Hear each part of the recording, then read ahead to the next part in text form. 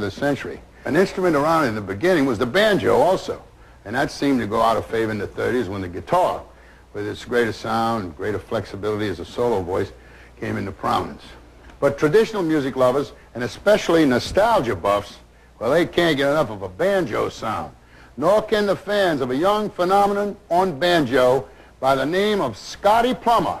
He's a showstopper in the tradition of his idol, Eddie Peabody, the red-headed, freckle-faced kid with a banjo.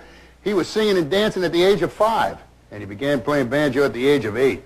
By his 10th year, he was already in demand in Las Vegas, and he spent three years touring with Liberace. Scotty has appeared on the TV Movie of the Week, and he's made the rounds of all the leading TV talk shows and variety shows.